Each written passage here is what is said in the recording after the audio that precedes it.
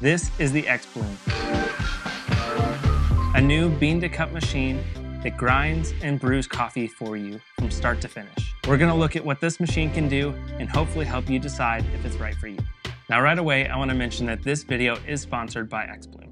They sent me this machine on loan to create some content with, and so as you read in the title, this video will kind of serve as a first look and an overview of the product's features rather than a full review.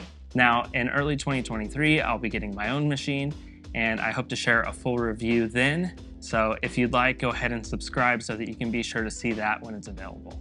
So let's jump right in. Brewing with this all-in-one machine starts with a pod. Now don't turn the video off just yet. Inside each pod are fresh whole beans, roasted to order from some amazing specialty coffee roasters. On the bottom of each pod is an RFID tag that contains recipe information for each bean.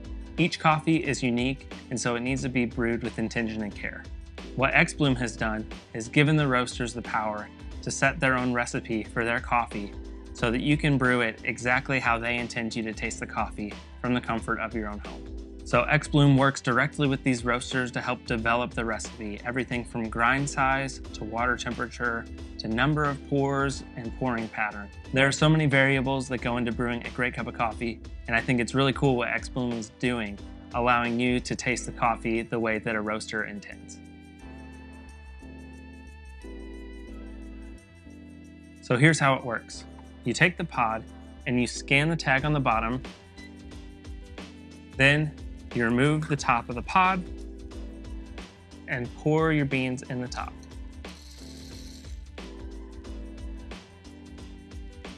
Once you dump the whole beans into the grinder, the pod now becomes the dripper. You load it into the XPod deck.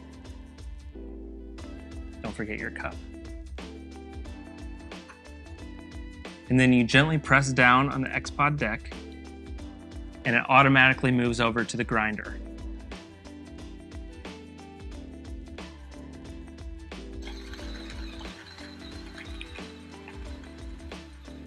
When grinding is complete, it moves itself back and begins the brewing phase.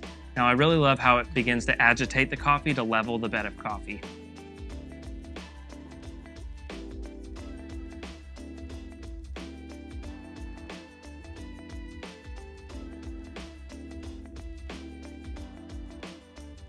I love that there's a filter already loaded into each of these biodegradable pods Depending on the pod you're using, the recipe can be completely different. Usually there's a bloom phase with some agitation, but then the number of pours and the water temperature can all be different depending on the coffee.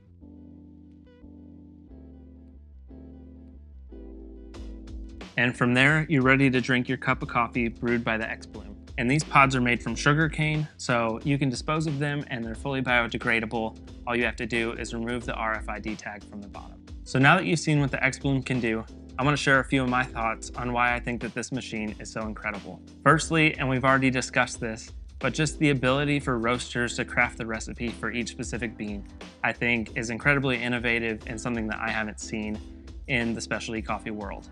Secondly, I think it's a great design. I think it looks beautiful. Um, it's more compact than I was imagining it would be from pictures that I'd seen online.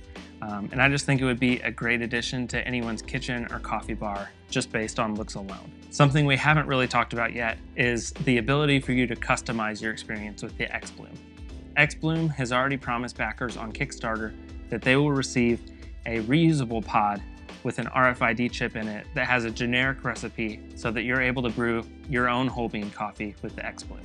What's even more exciting for me is that there's an app that goes along with this machine. So you're able to put in your own beans and really develop a recipe from the ground up or modify an existing recipe to fit your preferences.